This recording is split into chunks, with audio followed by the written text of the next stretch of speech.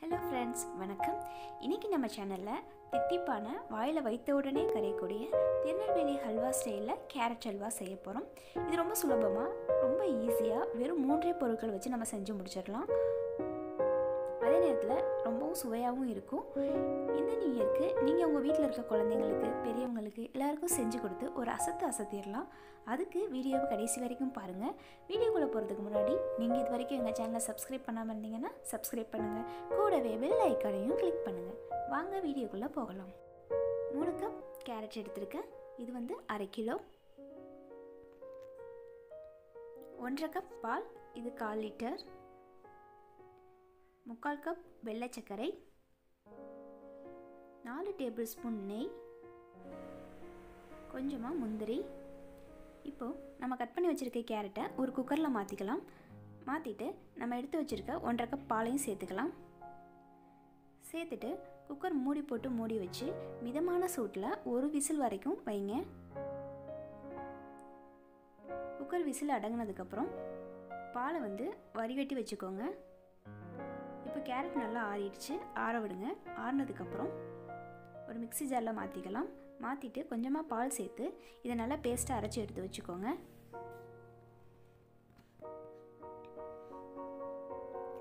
அடுத்து ஒரு கடாயில் ரெண்டு டீஸ்பூன் அளவுக்கு நெய் சேர்த்துக்கோங்க.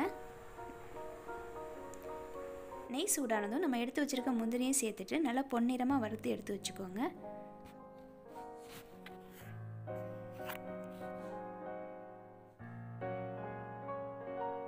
அதே கடையில் நம்ம அரைச்சி வச்சுருக்க கேரட் விழுதையும் சேர்த்துக்கலாம். இதை வந்து ஒரு ரெண்டு நிமிஷம் கைவிடாமல் கிண்டிகிட்டே இருங்க. இதோட தண்ணி பதம் குறைஞ்சி நல்லா ட்ரை ஆகிற வரைக்கும் கிண்டிகிட்டே இருங்க. ஃப்ளேமை வந்து ஹை ஃப்ளேமில் வச்சுக்கோங்க.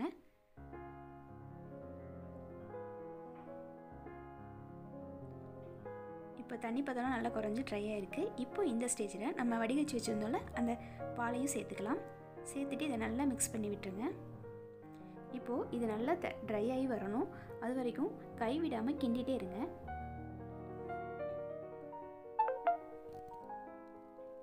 நீங்கள் கை விட்டிங்கன்னா டப் டப்புன்னு தெரிக்கும். அது உங்கள் முகத்தில் கை கல்ல கையிலெல்லாம் படும். அதனால் கை விடாமல் கிண்டிகிட்டே இருங்க.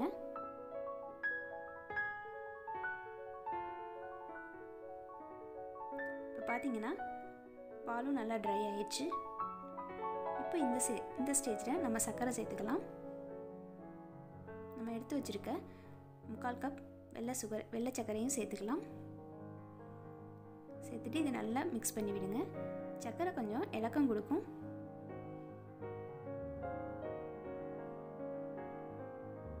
கொஞ்சம் தண்ணி விட்டு நல்லா இழக்கம் கொடுக்கும். இதையும் நல்லா ஹை ஃப்ளேமில் வச்சு நல்லா கிண்டிகிட்டே இருங்க. சர்க்கரை நல்லா சுருள சுருள கிண்டுங்க. சர்க்கரை நல்லா சுருண்டு சர்க்கரை அந்த நம்ம எடுத்து வச்சுருக்க பால் அப்புறம் கேரட் எல்லாம் நல்லா மிக்ஸ் ஆகி ஒரு வந்து ஹல்வா பதத்துக்கு வரும். அந்த பதம் வர வரைக்கும் நல்லா சுருள சுருள கிண்டிகிட்டே இருங்க.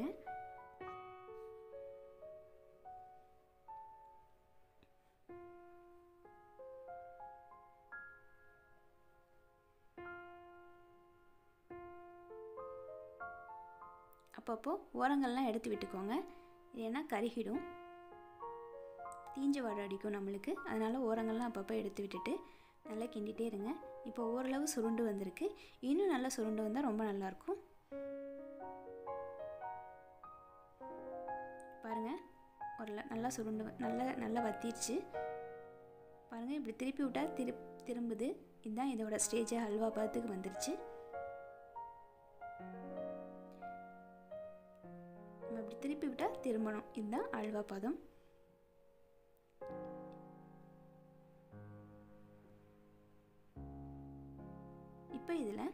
நம்ம எடுத்து வச்சுருக்க நெய்யை சேர்த்துக்கலாம்.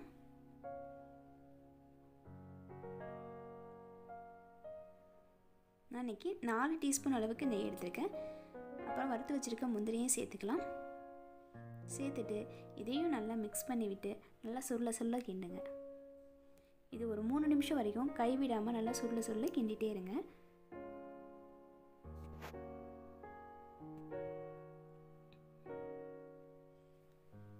அவ்வளவுதான். ஹல்வா நல்லா சுருண்டு வந்திருக்கு. இதுவே அல்வா பதத்துக்கு வந்துருச்சு நம்மளுக்கு. பாருங்கள் நம்ம கிண்டும் போது பாத்திரத்துலலாம் ஒட்டாது. இதுதான் அல்வா பதம் நம்மளுக்கு. அவ்வளோதான் நம்மளோட ஹல்வா தித்திப்பான ஹல்வா ரெடி ஆயிடுச்சு.